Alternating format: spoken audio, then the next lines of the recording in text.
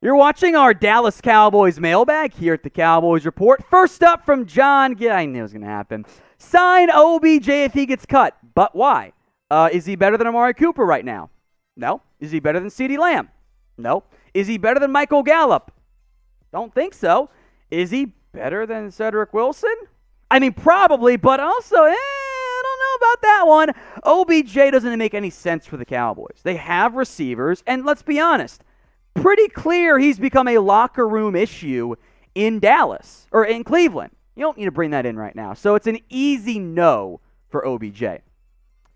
From Joe Zapp, and then, I want to get to Dwayne's super chat here. Uh, where does Neville Gallimore and D Law stand on their return? And will Bossman Fat get some reps over Anthony Brown?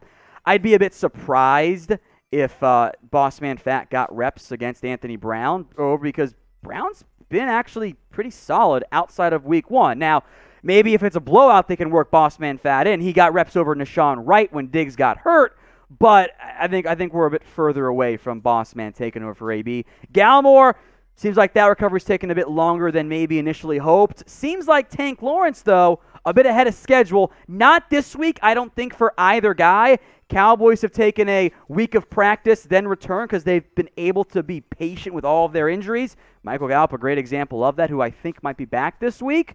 We'll see. I, I wouldn't be stunned if Tank Lawrence came back by the midpoint of the month. Before Thanksgiving is my hope for both of those guys. Super chat now from Dwayne Jackson. With back injuries being so what, being a medium level threat, if the Cowboys then don't have to get the number one seed, and knowing Dak has been banged up this year, is it wise to sit him in your starters? Um, I'm not entirely sure what your question here is. Um, you should go for the number one seed. That is the best path to winning a Super Bowl. That is the route I would go if I were Dallas because that bye late in the season is very helpful for you. Now, if you get to week 16, week 17, week 18, and you're locked into your seeding – I, I, I don't mind sitting some players at that point and resting your guys. But I think this is the NFL. You stole a win last week. Make sure you keep trying to, you know, win football games. From Thad Katzel, who couldn't even spell his own name right. What an embarrassment. Uh, I'm kidding. Thank you for watching, Thad. Given the way Cooper Rush played, would you sit Dak again. Look, Rush was very impressive. I think he exceeded pretty much everybody's expectations against the Minnesota Vikings. But I also want to mention this part.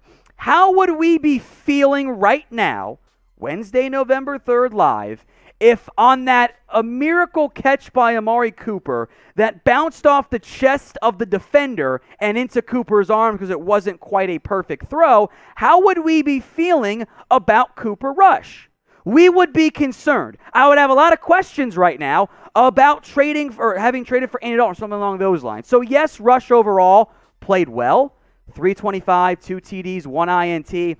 But if that, that vertical shot, if Cooper doesn't come down with that, I don't know if the Cowboys win that game. And because of that, I think we have to acknowledge the what I consider the reality of the situation. Maybe you disagree, and, and that's all good. The Cowboys stole that game against Minnesota. You don't give one back against Denver or Atlanta or whomstever. If Dak is healthy, he plays. We, we, we all watched the warm up drill. Dak looked just fine out there in terms of being able to play and being out there and working through stuff. And I think if the Cowboys were in a race for the NFC East, I think he would have played. The, the Cowboys now said we didn't want to uh, allow this to linger. As long as he's cleared, play him. That is the route I would go if I were the Cowboys. But I want to make this an open and safe space for you guys to sign off and, ch- and chime in as well. Do you want Dak to start this week? Type Y for yes or N for no. Raven Ruiz with Michael Gallup coming back. Will we see him take more snaps than Cedrick Wilson? Um, I think this is a, a, pretty likely outcome here. We'll get to the super chats, by the way, as well. Um, I think that they will probably bring Gallup along a little bit slowly, kind of like what they did with Donovan Wilson. But yeah, Gallup, I think, will take back the wide receiver three role. From Jason Shell, what are your midseason award winners like MVP, etc.? Uh, as relates to the Cowboys, look, your MVP is Dak. Your defensive player of the year is Trevon Diggs. Your defensive rookie of the year is uh, Micah Parsons. And oh, by the way, all three of those guys could very well win the respective NFL awards as well. Most uh, or most improved player, hmm, Terence Steele. Terence Steele. Uh, biggest surprise? How about Jayron Kearse? He's been a really nice find by Dallas. Uh, from Dwayne Jackson now. If Cooper Rush is the starter until Dak comes back, how much faith do you have in quarterback three if Rush goes down? Uh, I mean, we haven't seen any of Will Grier. He hasn't been good in the NFL. Who knows? Um, I would prefer to not have that conversation uh, because that means there's a lot of issues at the quarterback spot if you're playing quarterback three. All right, from Alakai Trimble. As good as our defense has been, uh, we, we, we're still missing some pieces. How damn excited are you to see what it looks like at 100%? I'm very excited. Like this, this Cowboys team has been winning games without a, without quarterback one for one of them. They lost left tackle one for a game. Right tackle one missed five games. They've missed a lot. Defensive tackle one has been out. Edge one has been out. The Cowboys of years past are not where they're at. So I am very excited to see what they're able to do. I had tried to urge caution of let's not let's not set our expectations too high, and here they are, exceeding the expectations. The answer is very. From uh, from the trash man, uh, hashtag Cowboys for the Cowboys called about Von Miller. Why didn't they do the deal that the Rams did? Um, I think of the main reason why here is it's expensive. Um, two seconds and or uh, a second and a third is, is a lot to give up for Von Miller. Even though the Broncos ate that money, that's a rental. Now, we can have the conversation about bringing Von Miller in again in the offseason when he's a free agent, but I don't think Dallas was ever going to offer a second and a third for a rental player. They're not as aggressive, right or wrong, as the Rams are. But what do you guys think? Would you have done the Von Miller trade? A second and a third for half a season of Von Miller, admittedly at a rather cheap cost. Get those votes in. D for deal, ND for no deal. If you guys want more questions answered, if we don't get to them live on today's mailbag, hit me up on Twitter at what going downy. We'll put that link in the comments section for you guys. Any questions you got, hit me up on my Twitter. Super chat now from XX King Snow XX. Do you think Cedrick Wilson takes Gallup's spot on the, the roster? Well, remember, guys, Wilson is also a free agent after this year.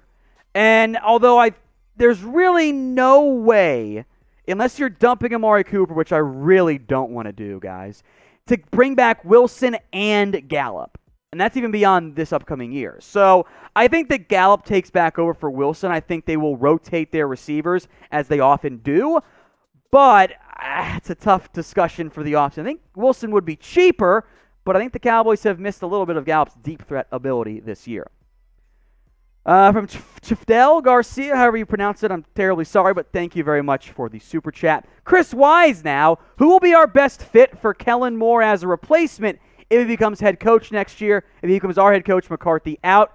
I think the most likely outcome is Doug Nussmeier takes over as your offensive coordinator. Um, Nuss and Dak, I think, have a pretty good relationship. Not as good as Kellen and Dak, but it's one of those, hey, it's working right now. Let's just promote the next guy up. And, you know, maybe it ends up not working, but that probably makes more sense than going out of the position. Or maybe McCarthy takes over play calling. That's certainly an option.